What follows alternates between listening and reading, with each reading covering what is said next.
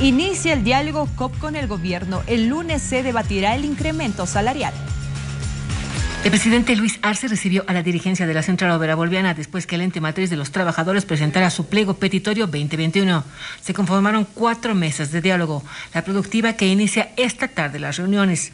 La económica que abordará el incremento salarial el día lunes. Eh, hacer conocer a los trabajadores y al pueblo boliviano que a partir de la fecha ya empezamos a trabajar, a discutir los temas estructurales del pliego petitorio. Obviamente que esto va casado con la demanda del incremento salarial, que a partir eh, del lunes ya hemos agendado con el ministro de Economía, nos sentamos a discutir el porcentaje del incremento salarial como corresponde en función al pedido de la Central Obrera Boliviana, pedido del salario básico, un porcentaje al salario básico de un 5% y un mínimo al 5, de 5% al mínimo nacional. Las otras dos mesas son la social y la legal, donde se plantea la modificación y creación de diferentes leyes.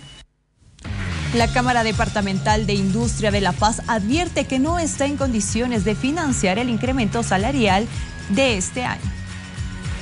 Los números son claros, no, no es una posición equivocada o que desconozcamos el sacrificio de nuestros trabajadores, pero bajo estos números, bajo la situación mundial y nacional, es imposible hablar de un incremento y lo decía hace pocos minutos, que no podemos sacrificar a las pocas, a las industrias que quedan en pie.